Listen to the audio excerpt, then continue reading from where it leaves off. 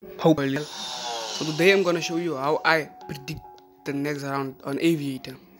As you can see, I'm on fun mode here, not on real mode, just to show you how I predict the next round on Aviator.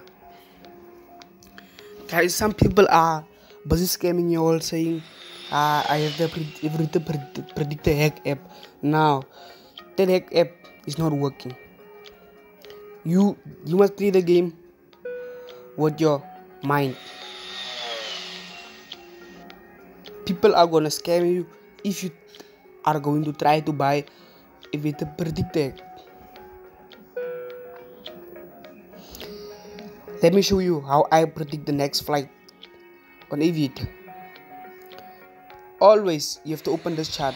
You have to always open this chart. Then check. As you can see, after two blues there's a purple. After four blues there's a purple. After three purples there's a pink. As you can see there's another blue.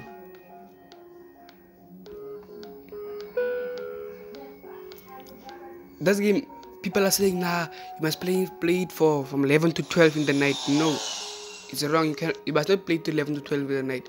You can play it at every at any time. Another thing is you see here at the total bets now you can see some people betting here. And you and you see and you can see them they are winning. Look at when they cash out then you cash out. There's the tactic i use to make money. You're gonna win with that tactic. As you can see i told you two blues then a purple. As you can see always predict like that. Look i'm gonna bet where 10 rand. Maybe cash out at two I think there's gonna be two purples. I'm not, I'm not gonna lie. I'm not mistaken. But yeah, two purples. Ah, I thought let me, let me wait for just one blue and a purple. Let me bet again.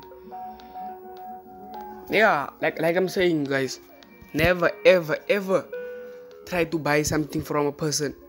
Says they're selling aviator predictor app. That thing is not working, guys. As you can see, I told you guys please like and subscribe for more videos. Bye